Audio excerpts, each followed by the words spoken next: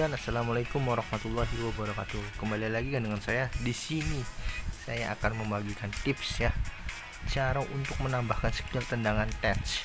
Jadi itu iba ibarat mah skill tendangan baru ya.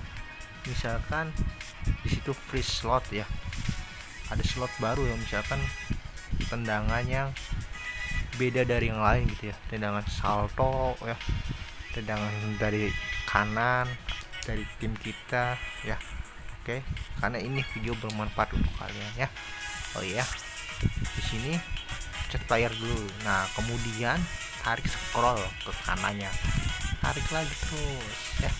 Di sini pencet yang namanya touch special skill ya.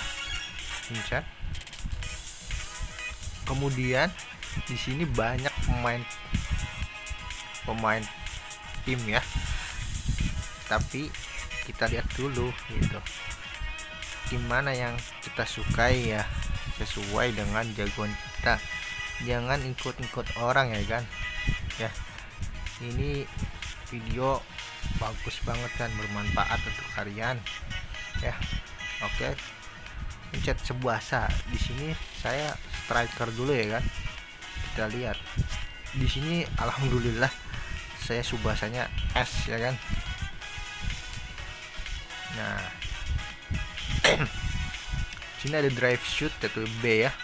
Level 1 ya sebelum tidak ada di sini ya slotnya. Oke pencet ya.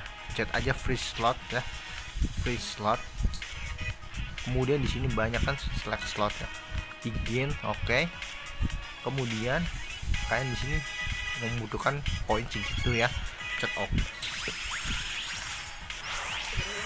nah ketika sudah bisa touch complete nah di sini tuh ada muncul nah di sini drive shoot ya. Skill tendangan baru untuk Subasa untuk tim saya ya kan? Nah di sini sudah tidak bisa lagi digunakan ya.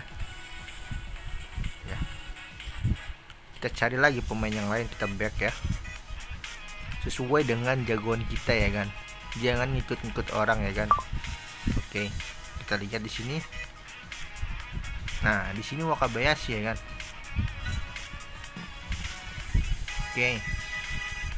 Nah di sini T juga tingkatnya T ya.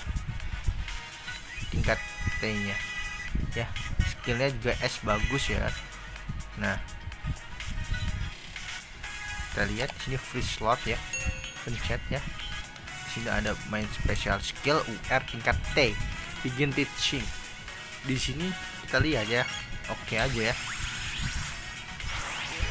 Nah terbuka kan slot terbaru si kiper Wakabayashi. Itu ibarat nangkepnya lebih pas lebih tepat ya kan. Nah sini kita cari lagi pemain pemain yang lain ya kan.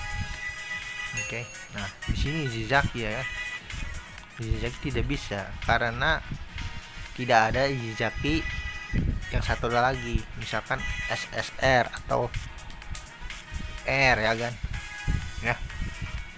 Tingkatnya sama S ya. Bisa tingkat beda tapi bagusan tingkat S ya kan? Ya oke lihat di sini saya juga ya kan? Nah di sini tingkat T. T juga lumayan kan? Karena dapetin T sama S itu susah ya kan? Faktor hoki keberuntungan kita ya. Di sini close aja. Ya begin touching ya. Oke okay, ya. Nah kemudian di sini slot terbaru terbuka gitu ya tendangannya.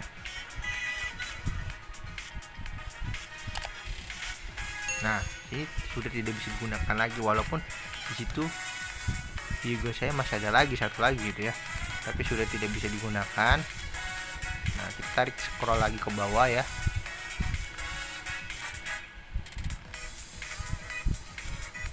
Oke.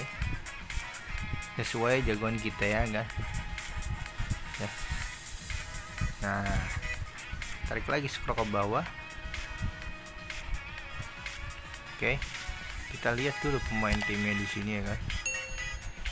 Slow aja ya kan di sini ya kan?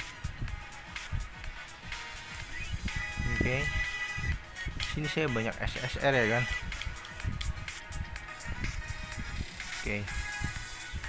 Jadi itu saja kan video saya. Semoga bermanfaat. Jangan lupa subscribe nya kurang lebihnya mohon maaf. Wassalamualaikum warahmatullahi wabarakatuh